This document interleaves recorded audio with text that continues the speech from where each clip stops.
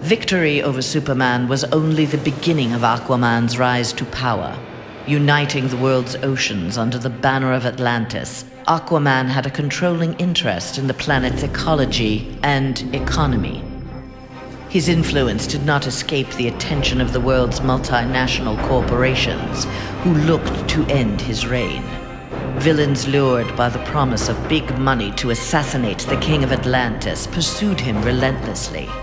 But Aquaman's popularity served him well. The world's citizens rose up in anger against those who would quell Aquaman's influence. The threat abated, a groundswell of support began for a united Earth under Aquaman's command.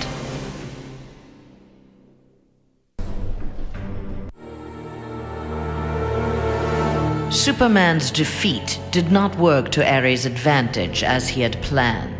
The heroes of the parallel dimension helped this world's Batman build a conflict free utopia that left the war god famished. On the brink of death, Ares managed to imprison Brainiac 5. He forced Brainiac to create a time loop beginning with the other dimensional heroes' arrival and ending just before their victory. In this pocket of time, Ares flourished, endless war was his to savor.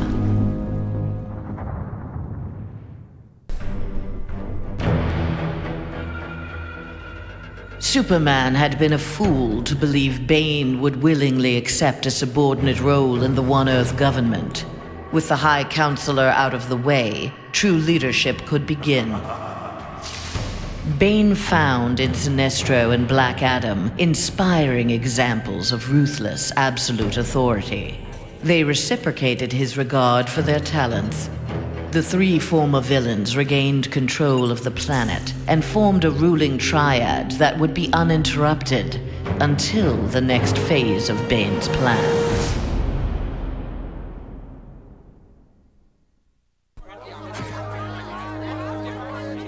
Following the battle to liberate Earth, Batman learned that Luthor had bequeathed his massive fortune to Bruce Wayne. He now had the means to rebuild Gotham and Metropolis. The city's residents, inspired by their hero's efforts, adopted the slogan, We Are Batman. They contributed countless hours to their community's renovation and crime prevention.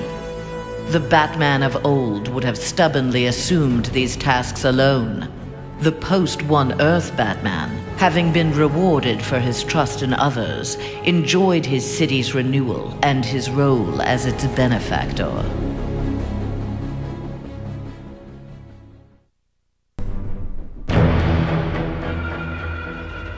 The defeat of Superman taught Black Adam one thing.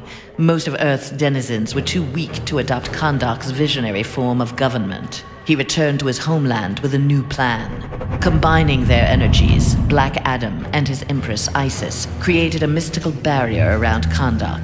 There they reigned in peace, their country an oasis in the wasteland of human civilization. A true oasis once Black Adam had destroyed all other life on Earth.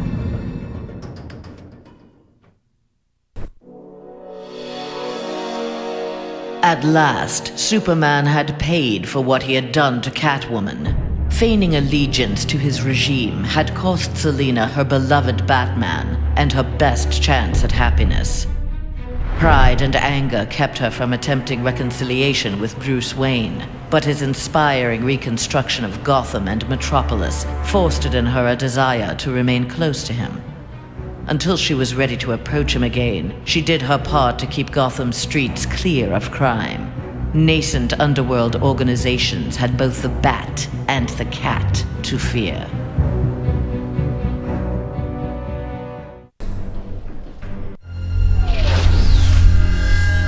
After Superman's defeat, Cyborg led the assault on the Fortress of Solitude to flush out remnants of the High Counselor's regime.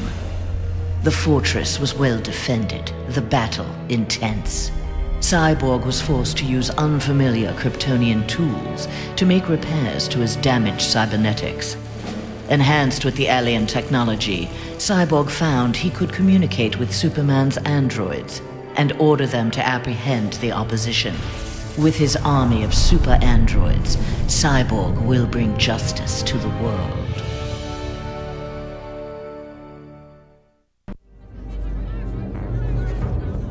With Superman's regime toppled, new governments formed to take its place. New governments meant new customers for Deathstroke, and business was booming. Soon there were more assassinations to carry out, revolutions to aid, and unrest to create than he could manage on his own. The One Earth regime's elite troopers, having committed atrocities in Superman's name, had gone into hiding from a populace bent on revenge. Impossible for most to find, but not for Deathstroke. Recruiting these renegades, he formed the New Titans, the world's premier political assassins.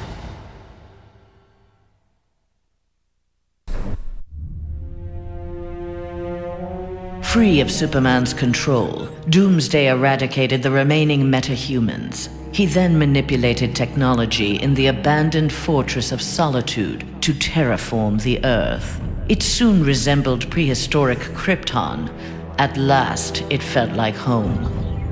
After a few years of exterminating humanity at his leisure, however, Doomsday needed a challenge. Having assimilated Superman's ability to fly, he headed for a nearby space sector. He had heard rumors of an opponent worthy of his attention, a Czarnian mercenary with a taste for violence.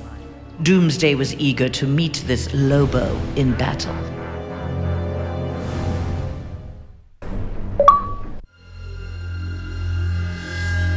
Flash had taken down the High Counselor, but the atrocities he had abetted during Superman's regime continued to haunt him. His shame eventually drove him into exile. Whether wishing to make further amends or simply unable to stop himself, Flash continued to use his powers in the pursuit of justice. Rumors of a mysterious red streak of energy that would set upon and incapacitate criminals circulated throughout Central City, while only some deduced his true name, most felt gratitude and affection for the new hero they called the Ghost.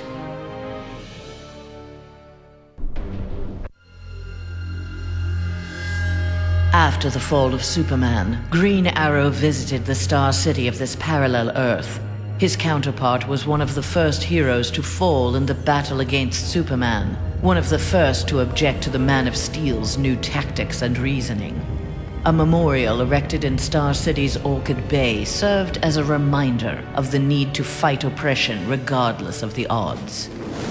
There, Green Arrow found that one citizen wasn't content to memorialize Oliver Queen in stone. With Green Arrow's training, a new archer, dressed in crimson, took up the fallen hero's mantle. Let Star City's criminals beware. The night belongs to Red Arrow.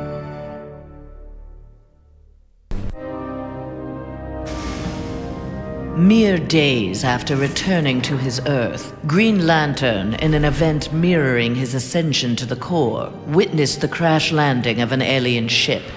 Investigating the wreckage, he encountered the pilot, who claimed to be Abin Sur. But this Abin Sur wore no power ring and referred to him in halting breaths as the Almighty One.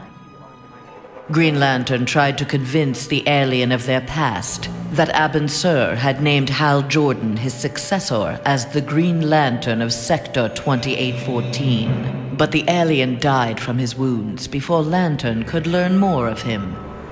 Lantern left immediately for Oa. The Guardians were his only hope of solving this mystery.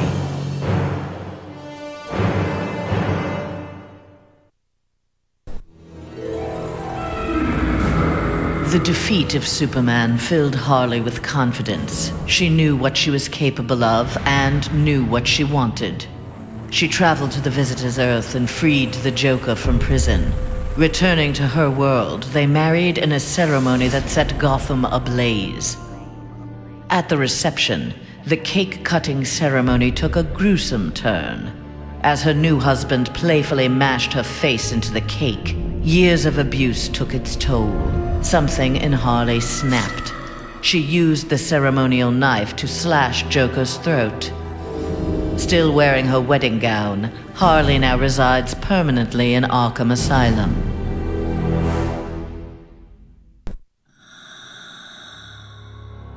Free of his brainwashing, Hawkgirl exacted revenge on the High Counselor for murdering her husband, Hawkman. She was nevertheless sent to prison for her role in the regime. One night, she awoke hovering above her cot, glowing with eldritch light. An instant later, she stood at the bottom of a shallow crater. There, she found the source of the light, a meteorite of pure nth metal. As she touched it, the meteorite sprung to life, encasing her in nth metal. The new armor made Hawkgirl invincible. Her first act, vengeance against those who had helped Superman capture Hawkman.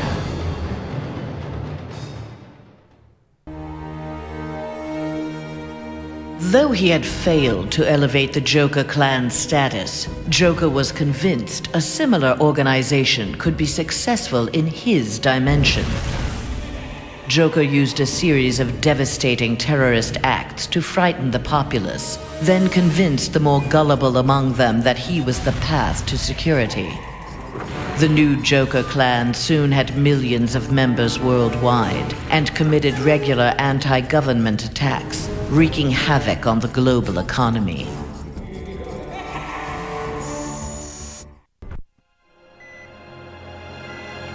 Killer Frost reveled in her victory, but her overconfidence betrayed her. Seizing the opportunity, agents of Star Labs captured her. Their scientists harnessed her freezing power in order to fortify the world's polar ice caps. But Star Labs underestimated Frost's abilities. Turning on her captors, she froze their facility and eventually the entire Western Hemisphere. The survivors now struggle to overthrow the self-proclaimed Ice Queen.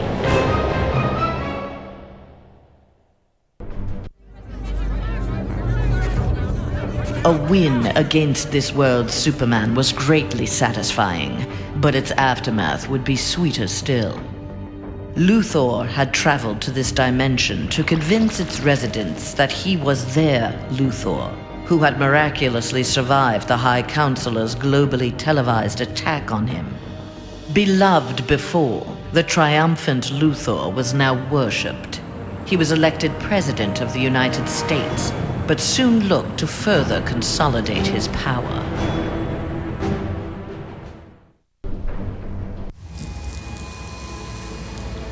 Nightwing had beaten his former boss, Superman, in single combat. Not even Batman had done that.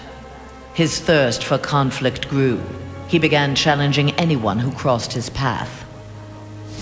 Nightwing's belligerence eventually drew the attention of Sinestro, his corps was always in need of new recruits, and the young human seemed able to inspire great fear. Sinestro had his suspicions confirmed when a yellow power ring found its way onto Nightwing's finger.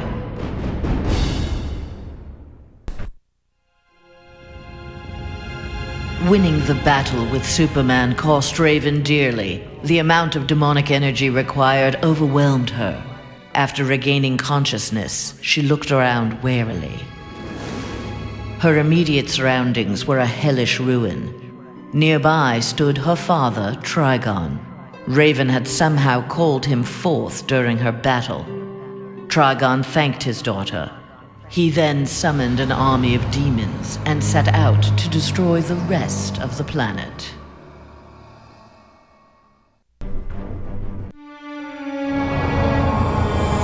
Following the events in the parallel dimension, Shazam's fellow heroes returned home. But an alien virus contracted during the transfer created in them acute mental instability. They turned on their fellow crime fighters in a deranged fury. Alone and desperate, Shazam shared the power of the Word with his adopted brothers and sisters. Their purity of heart gave them courage, the army of Shazam incapacitated the former heroes. Eventually, they took the place of the Justice League as primary defenders of Earth.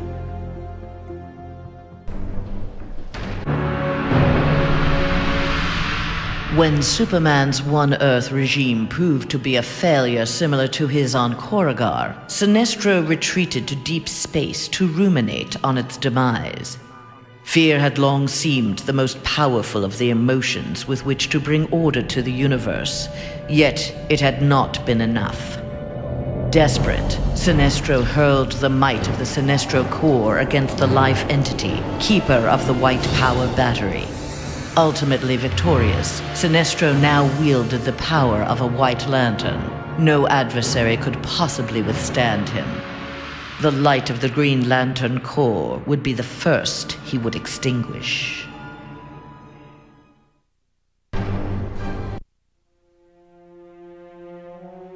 The battle over, Grundy eluded capture and returned to his swamp to heal his wounds. During regeneration, Grundy found he could channel the elemental force of the red. All animal life would bend to his rule. His increased power also allowed him to resurrect the long-lost Grey Force. Now, instead of ruling Earth's creatures, he could simply destroy them. After defeating the world's heroes, Grundy turned Earth into his version of paradise. He now rules over a gray and lifeless planet.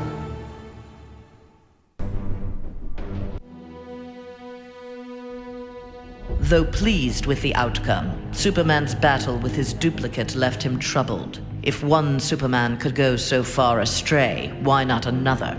Preventative measures were in order. After much discussion with his fellow Justice Leaguers, Superman ingested a remote-release kryptonite capsule. At any sign of instability, the kryptonite would permeate his body, killing him. The question of who could trigger the device was solved democratically. Each week, a different Leaguer would take possession of its remote control. Only Batman was denied a shift.